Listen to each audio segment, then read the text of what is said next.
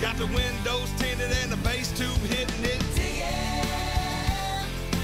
Creeping past the popo incognito like Joe Dirt. That's how he's living. Life's a garden, man, and he's just digging. using it for a while. So this is mine. Anyway, so the original reason. I think my Ace 350's here.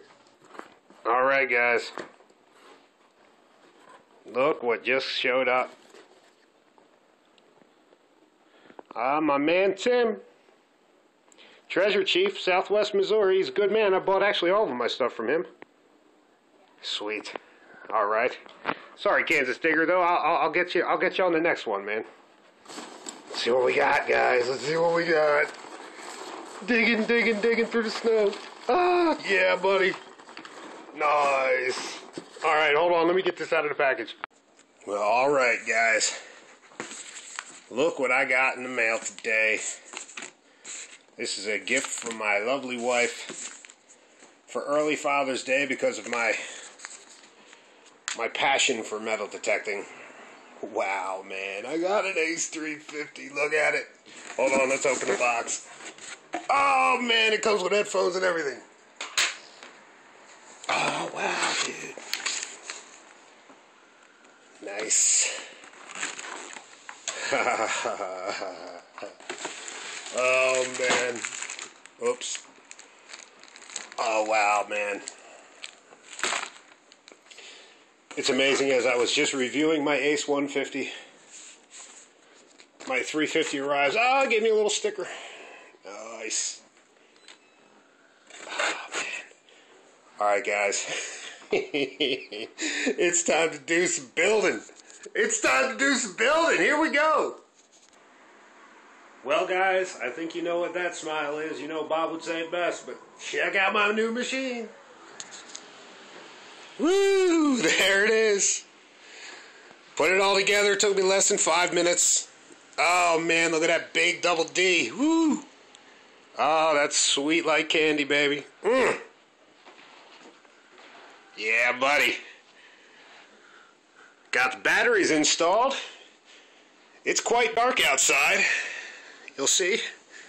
It's been a little rainy all day. But that's never stopped me before. I'm going to go find something with my new 350. I'll keep you guys included. Well, there you go, everybody. First target was actually a nickel, and it said a nickel. Isn't that a beaut? Awesome, awesome, awesome. The pinpointing's so easy to use, too. Fantastic, and it was pretty accurate. It was right there. Spot on. I can't really get a date, but I don't care, man. Find number one. Nice. All right, find number two. A nail. All right, find number three is exactly what it said. Beaver tail, beaver tail. Still a pretty one. All right, find number four, and I think it's a coin.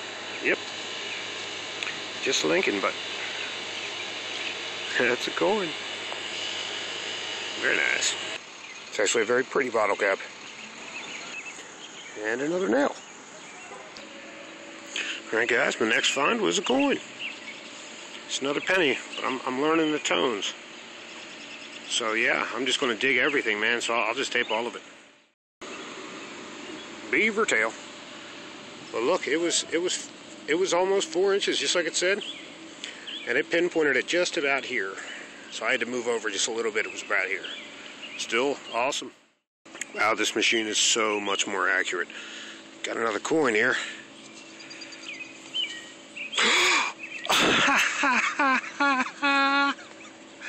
yeah, buddy, did you see that? That's a wheat penny. Holy shit, I think that's only find number seven with this. 1950, yo. I think that's only my third wheat penny of the year. You guys see how much I dig? Oh, man. 350 totally worth it. Mwah. And a bottle cap. Bottle cap. Bottle cap. Alright guys, looks like we got a coin. Yeah, just a penny. Ooh, a crusty one. Barnacle. Bernie.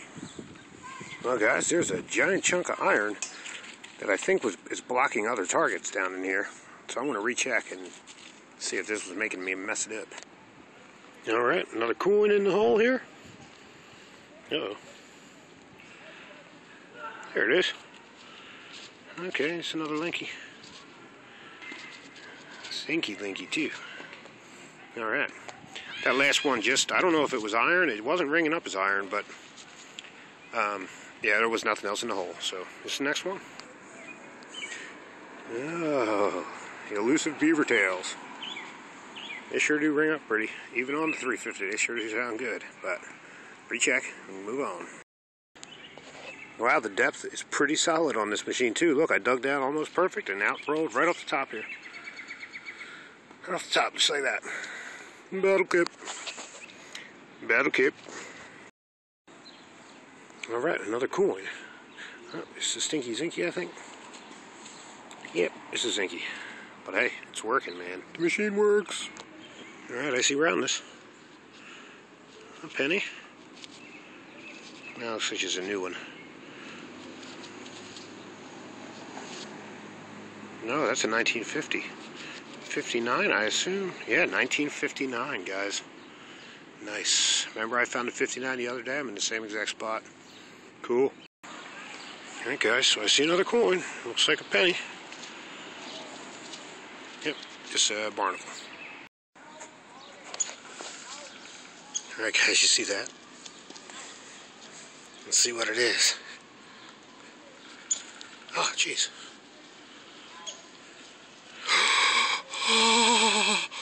Oh my god. Oh my god. Oh my god. Oh my god. Oh my god. Oh my god. I can't freak out. There's people around me. Oh my god. Oh my god, guys. Oh my god. Give me a marking. Hold on. Oh god. Hold on, guys. Let me let me get my glove off. All right, guys. Just like you'd suspect, I am shaking. Oh, geez, and dropping it. Oh my God, I can't see a marking inside. It's just too dirty, but it sure looks real, doesn't it? Holy shit. oh my God. Well, there you go, guys. What's that? Dig number 25? Think it might just be plated, but. Oh man. Badass. Alright, guys, I see something good here. It's a dime. Dime from. Doesn't look like silver. It must be new. 81. Still, I don't care, man. That ring is awesome. Alright. Alright, guys, looks like just a copper, but we're not even just a zinky. Yep, just a zinky. Getting good on the targets, though. Alright, guys. I, this just flipped out. I haven't seen it, but it sure shined. What is this? Uh,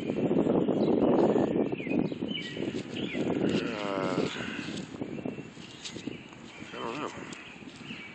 Just some kind of aluminum collar, man. If I'd have hit two silver rings or two cool rings and that quick, that would be phenomenal. But hey, found out what this sounds like. Cool. Well, guys, I have to say this. That you know, I thought it would be funny that that rang up as a penny, and there's a barnacle like right next to it. Like this is the first hole. See, I pulled it, re-pulled it out. This was the second one.